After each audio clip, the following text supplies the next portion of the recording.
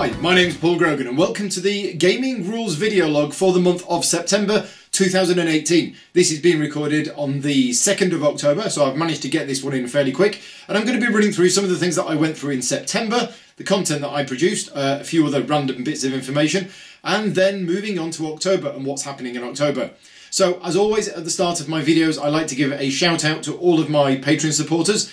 Without you, a lot of the content that I would make, including this video, but a lot of the other content I create as well, would simply not be possible. Um, and as those people who've been following me know that the last couple of months have been a very tough month, and the Patreon has meant a lot to me over the last couple of months. I mean, it'll still mean a lot to me moving forward, but I mean, it, it has been very supportive. Um, We've had a new, new, a few new supporters in the month of September, so I'm going to go through those now, and then we'll do the winner of the contest from last month. So we have a new executive producer, uh, brand new, Ian Hayward. Ian's been a friend of mine for uh, I've lost track now. Almost 20 years. We used to game together at the Hemel Games Club way back when. Um, and it's great that I'm still in contact with Ian and uh, we play games together at conventions. Well, more I teach and he plays. Um, I've also had a number of people upgrade their pledges to executive producer. Uh, which is also really good. So, uh, the first one is Mom Gamer. Thank you very much, uh, and we need to talk soon about that thing that, that we're talking about. Um, Michael Nikoluk, aka Happy Gamer, you've upgraded your pledge to executive producer. I think just because you wanted me to try and pronounce your uh, your name again, and hopefully I got it right this time. So thank you very much, Michael. Um, also, uh, Chariton Kalatzidis, uh, aka Harry. Thank you very much, Harry, for your support and upgrading your pledge. Uh, Leanne Weaver, Leanne's been helpful for me in more ways than she probably knows. So thank you very much, Leanne, and and great to have your support at executive producer level too. Um, Francesco Baccelli, I think the last time I pronounced your name, I inserted some extra characters, so hopefully I've pronounced it right this time. So again, thank you very much for your increased support.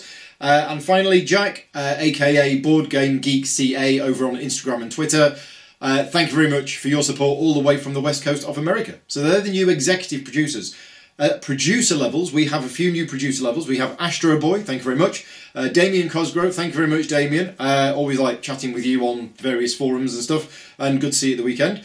Uh, Danielle, all the way over from Rome, aka Kraken TDG. Danielle does uh, board game rulebook translations and has done a couple of translations of rulebooks that I've been involved with. Um, so thank you very much for your support. Laura Jane Weaver, uh, no relation to um, uh, to Liana, I don't think. Um, but anyway, thank you for your support, Laura. Uh, Matt Zitron, thank you very much for your support, Matt. And a special shout out. Uh, Matt helped me overcome one of my challenges that I set for myself recently, which was uh, to get hold of issue one of the new Warhammer Conquest magazine. I kind of made it a bit of a thing for myself. Um, and I wasn't able to get any, and I spent hours phoning around places to try and get hold of a copy. Yeah, I kind of made it a thing, uh, and Matt really helped me out. He popped into his local store, uh, bought some, and gave me them this weekend. So thank you very much, Matt, for that. Uh, Mike Nudd, UK games designer. Uh, Mike has done a number of games. Um, I don't know if it's fair to say that the biggest one is Dice Hospital, but I'm going to say that anyway. And apologies, Mike, if that's not true. Um, but Mike's designed a bunch of games, uh, and I've known him for a few years. And thank you very much for your support, Mike. Uh, Pete Andrews, thank you very much for your support. And Robert Taylor, thank you, Robert. And we'll hopefully get you on Slack at some point soon. A couple of people have upgraded to producer level, which is Abdullah Kazim, thank you very much, and Paul Incao. Thank you very much, Paul, for your support. Uh, for those people who don't know, Paul is Vital Lacerda's lead developer. So all of Vital's games that have come out in the last few years that are absolutely fantastic, they're not just down to Vital, they're down down to Paul as well, and a few other people. Paul does a lot of good development work on it. Um, Right, some other people who've been supporting me as well at lower levels. So Cassidy Thomas, thank you very much, Cassidy, and I always enjoy seeing your your tweets. Uh, Dave Moser, thank you very much. Uh, Julia Stanton, who actually won the prize for the the live Q and A um, earlier this month. So congratulations on that, and thank you for your support. Louisa Berry, who I always like chatting with you at various conventions. Sorry you can't make it to Essen this year, uh, but thank you for your support. Uh, and also Wouter Debbie Shop. So I've left the best one to last, probably pronounced it wrong, but thank you very much for your support. So that is all of the new Patreon supporters for September. Now, I'll let you into a little bit of a secret, and I think I hinted on this last month. I, I record these video logs at the start of every month, usually. And as I mentioned earlier on, it's now the 2nd of October. Well, the way that Patreon goes is pe people who are supporters on Patreon basically they get the message on the first of the month to say, oh, you're now supporting these people. Here's your Patreon receipt for all of the people you're supporting. And it's the time when a number of people drop out. So it's always it's always difficult for me to film these video logs and say thank you to all of these people who've been supporting me when literally the last couple of days I've seen all of these people leave. Um, no, obviously everybody has their own reasons for, for dropping their support and that, that's absolutely fine. But you know, as a content creator who relies on that support, it is always hard seeing these people uh, leave. So every single month that I record this video log, I am doing so trying to sort of say all of the new people that have supported me, whilst in the back of my mind I'm thinking, oh, but all of these people have just left. Anyway, as of right now, 2nd of October lunchtime-ish, nobody has left me in October. So cross fingers. I mean, I might get back to the computer later on today and find that loads of people have left, but nobody has. So that's that's great. Anyway, on with the contest. So I do a giveaway uh, every month. Uh, do a prize draw. Randomly decided. Going to head over to the computer now to do the prize draw. So here are all of the Patreon supporters, all listed, and yeah, we're going to scroll down to the bottom. So yeah, we've got what, 269? So let's do the draw. So rand between, here's the nice little formula that I like doing, and we have, the winner is number 207, and the winner is Augusti Pellicer. So congratulations to Augusti for winning uh, probably the biggest prize actually, and thank you very much to Lucky Duck Games for for giving all of these uh, prizes away. I'll get in contact with Lucky Duck Games and they can get in contact with you. Uh, and yeah, thank you for your support and congratulations on winning. Now, the contest for this month, which will be chosen on the 1st of November, yeah, um, is to win a the, the core game, the base game version of Hero Master. Now, for those people who don't know, and I'll be mentioning this later on, I interviewed the designer of Hero Master. Hero Master is on Kickstarter right now, uh, so go and back it. But, or well, at least go and have. I'm not telling you to go and back it. I'm telling you to go and have a look at the campaign, see if it's for you, and then back it if you like it. But one lucky Patreon supporter is actually going to win a copy of it. Uh, this month. So if you are watching this video and you are supporting me on Patreon, then you're in with the chance of winning. Um, if you're watching this video and you don't support me on Patreon, then maybe now's the month if you want to be in with a chance of winning that. So thank you very much to Jamie for donating a copy of Hero Master, um, and good luck to everybody who enters the contest. Right, let's move on to the games that I've been playing this month, which has unfortunately not been many, um, because my personal situation this last month with everything that's been going on uh, has meant that I've not actually played that many games. So, I've only got four games on this list, right? And I'm going to start with Keyforge. I've talked about that loads before. Uh, I think I've played three or four more games of Keyforge. I'm still really enjoying it at the moment, and I'm still talking to loads of people about it. Um, and at Tabletop Gaming Live over the weekend, I was basically telling loads of people about it. So yeah, still enjoying playing Keyforge. I am also playing it online. I'm not recording my online plays, but there is a website that you can play online uh, it's not officially authorised by Fantasy Flight whatsoever, but it can't be hurting the game because lots of people are playing on there, um, and that's really good. So I'm enjoying that as well. Star Wars Destiny, which I found while having a clear out, I've suddenly gone back to that and realised this is really enjoyable. Um, it's a card game, but it's got dice in it, but it's just really good, and it really captures the theme of Star Wars. So I'm playing quite a bit of Star Wars Destiny at the moment, played that three times. Uh, another game I've been played, going on to the Euro games, uh, is Teotihuacan, think I've pronounced it right this time. We'll see. But I've played that twice. Now, the first time I played this was a learning game in that four of us sat round the table and none of us knew how to play. Um, I'd in fact tried uh, watching a bit of a video earlier that day on how to play and fell asleep. So that what happens when I watch videos.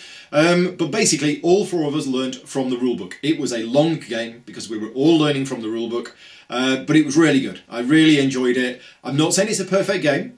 Uh, and if I do do a review of it later this month, I will go into a, a, a, bit more detail. But I did really enjoy the play. I came last. I don't really care anymore. I just messed around and did various things. And then I played it again, I think it was the week after, uh, where I taught three other people how to play. Or was it two? I think it might have been a three player game, I can't remember now. But I came last in that one as well. Um, but that was one where I actually taught everybody else how to play and then we played. Um, so I definitely want to play that more, really enjoying that. Um, and I've been playing Detective. So the new game from Portal Games, which is uh, you know based on uh, the Sherlock Holmes consulting detective in that you go somewhere, you read some clues and everything else, but it's set in a modern setting and it uses access to the internet, uh, a kind of fake database that they've thrown together of all of these people, and it actually combines real world situations and real world things that have happened in history, and it combines that quite well. Now, we are three cases in. I'll say we're three cases in. The first case we did was case six, which is now available from the Portal website. It was a demo case. It took us about an hour and a half. Uh, it's the one that's used at conventions to demo the game. And we basically played through that to see if uh, Vicky and my dad would like the game. My dad is currently living with us, and we wanted to find a game that would be something that would be good for us all to play together. And we enjoyed it. So then we started on the actual proper campaign. Now, the campaign is five cases. They are all linked together, even though each one is an individual story about a particular thing. It is all part of a bigger picture, and there's a connection between them. So if you are playing it, I would recommend the same group, definitely, and don't leave it too long between each session, because otherwise you'll forget what's been going on. So we've played the first two cases of the five case campaign, uh, very much enjoying it, which we were pretty sure that we were going to anyway, because we like the, the these kind of detective style games where we have to, you know, go places and everything else. It does do certain things, obviously different from uh, Sherlock Holmes Consulting Detective in that you track your time when you're going to certain locations and there's only a limited amount of time that you have per day. Um, there are things that you need to look up on this da database. You can match fingerprints at the scene of the crime. Very much enjoying it. Um, the only downsides I'm finding with it, I, I'd heard various opinions on the text and the text wasn't particularly great. Well, my opinion on it is that the text is absolutely fine, right? I was expecting like typos, grammar errors, badly written, badly translated, things like that. None of that whatsoever. The text is all absolutely fine. There's just a little bit too much of it. Now, when we were doing case one, this was this was fine. You know, we, we go to the police department, we walk up the four flights of stairs, we wait for Sarah to bring us the files, we start reading through the files, we have a coffee, it sets the scene, and, and that's fine.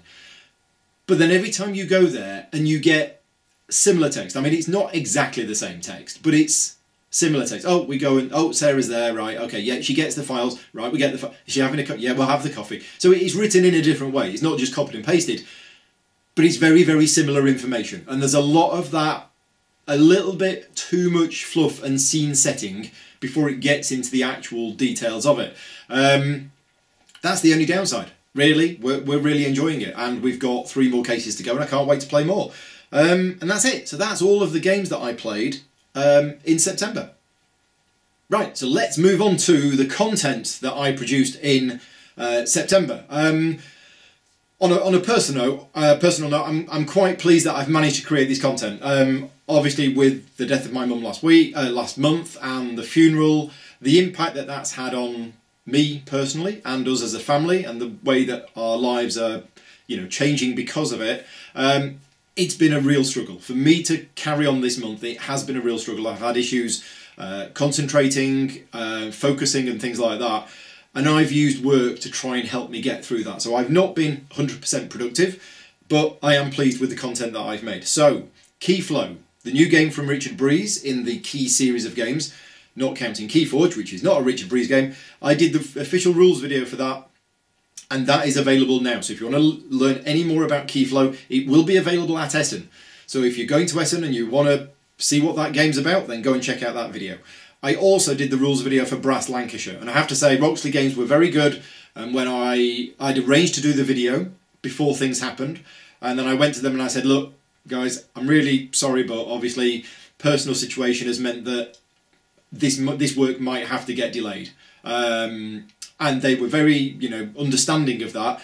But I did manage to get it done on on the time that we agreed to do it, and I'm really happy with it. The Brass Lancashire video, Brass is a classic game. It's a classic Martin Wallace game. I love what Roxley have done with it. They've taken a game which had a really bad old rule book, awful artwork, and just it was a great game but it just didn't have the look and the feel and they've picked it up and what they've done what's really nice to see what they've done is done a fantastic job with it and what's really nice to see is all of this this um, you know this horde of um, modern modern gamers you know because I've been gaming for yeah uh, you know, a long time, but there's a lot of people that are relatively new to gaming, you know, in the last few years, and they're picking up Brass and they're playing it and they're loving it, and that's really good to see because Brass is a an older game.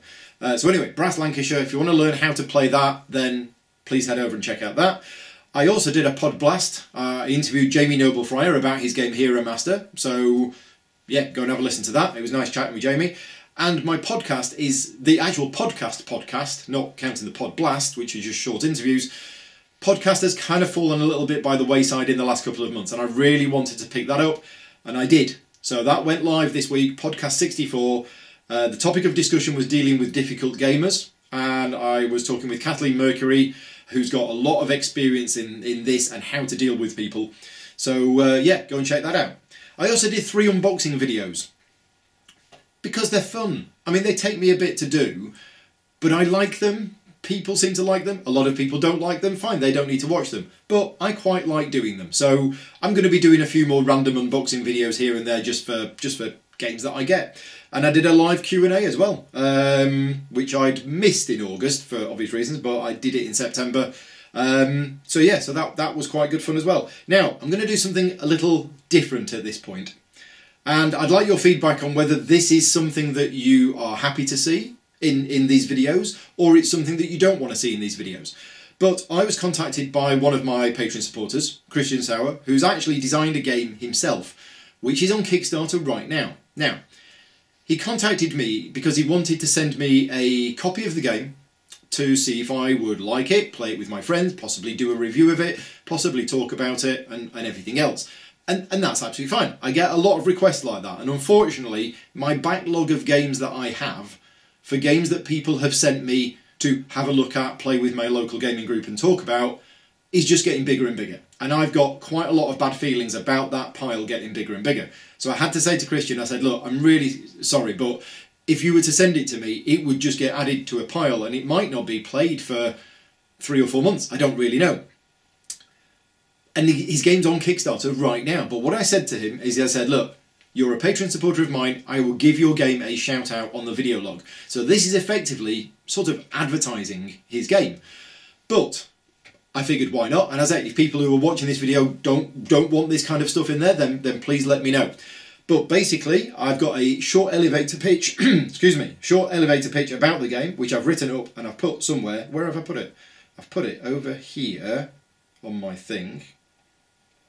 Here he is. Right, so designed by Christian. The game is called Warigin. I think Warigin. Um, I will put some links in the show notes, and I'm going to put some pictures on screen now as I'm talking. So it's a highly competitive two to three player game uh, for players who are looking for exciting tactical matches in an ever-changing asymmetric game. As I say, it's on Kickstarter right now. It's a small Kickstarter campaign.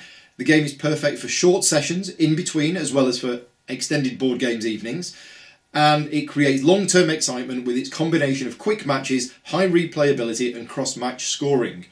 It's got a combination of hidden movement, powerful action cards, and exploitation of global events, and it's the goal of all players to conquer an opponent's fortress in an unequal setup. So, yes, it's an asymmetric game, high levels of player interaction, and as I say, if you like what I'm saying and you've seen the pictures and you like the look of it, then head on over to the Kickstarter and check it out and see, see what you think. So that's Warigin. Right, now moving on to what I've got planned for October. So the Dice Hospital rules video was actually completed uh, start of September. Yeah, I think it end of August, start of September. Um, but Caesar from Alley Games wanted me to put it out when he felt it was ready, and we've agreed that that's going live today. It's probably going live in about an hour's time from the moment I'm recording this video. Um, now, the Dice Hospital, it was the first rules video that I did after my mother passed away. So there is a there is a dedication to her at the end of the video, which I felt was appropriate. But that's going live today. So if you want to learn how to play Dice Hospital, you can go and check that out. Uh, I'm also going to be working on the Cerebria how to play video. And that is my big job that I need to get done before Essen.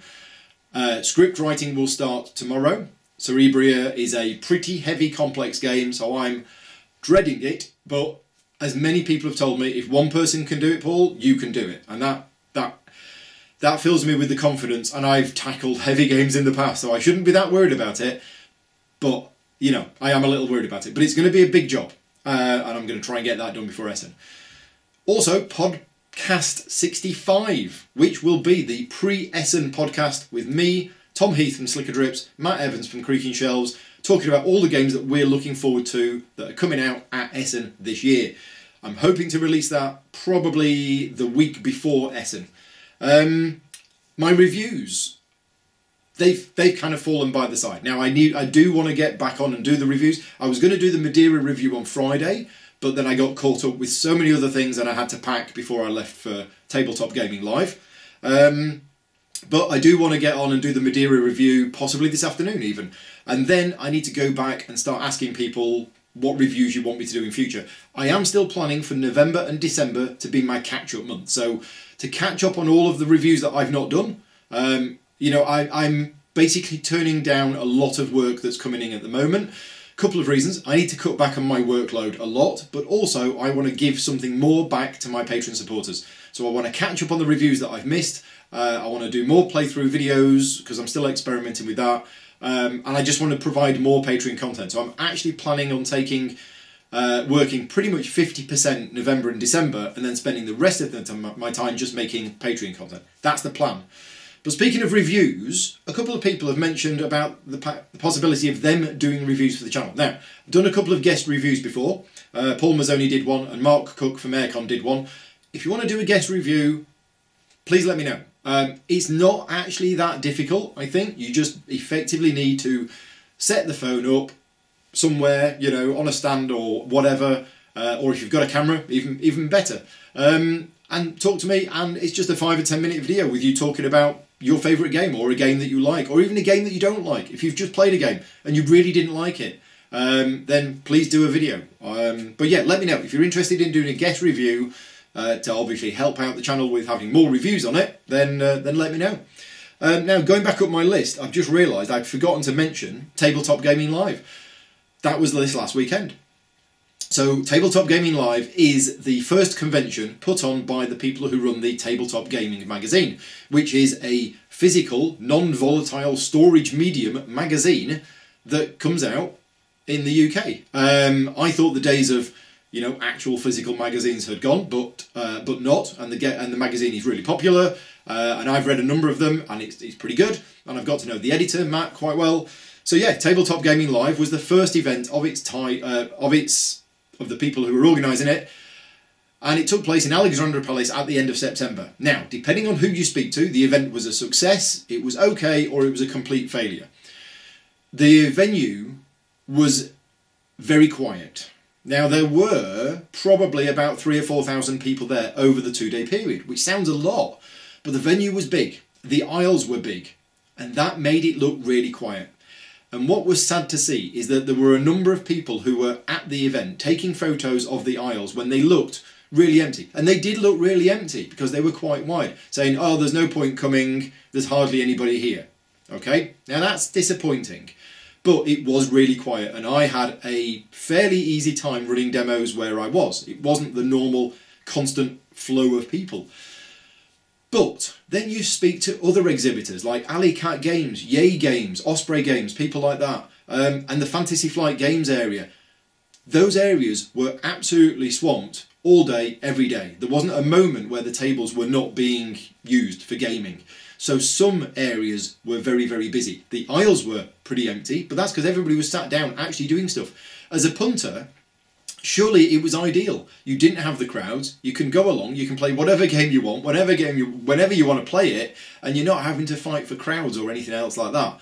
Now the downside of it is there were a number of exhibitors there. Specifically, what I'm thinking of is the war game stands. So there were a number of exhibitors there with war game stuff, like loads of miniatures and loads of paints and everything else. And they had really big booths. And every time I walked past, there was nobody in them whatsoever. That was obviously dis dis disappointing for them. I don't know whether they're going to be back next year. Um, I want to go back next year. I think next year will be the, uh, the, the, the deciding factor because I think if a lot of those exhibitors really didn't like it or, or you know it was it was a waste of time or money for them, then they're not going to go back. Uh, we'll have to see. So yeah, Tabletop Gaming Live. I went there. I enjoyed it because I got chance to.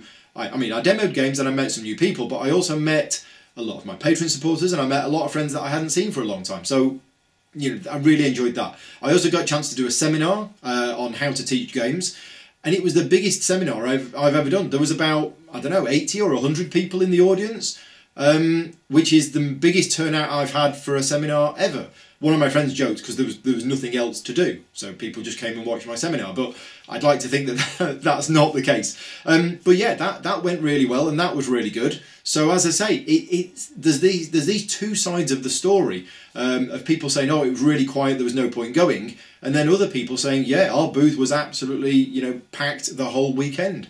Um, I spoke to Christoph from Meeple's Corner, who was there, and and they.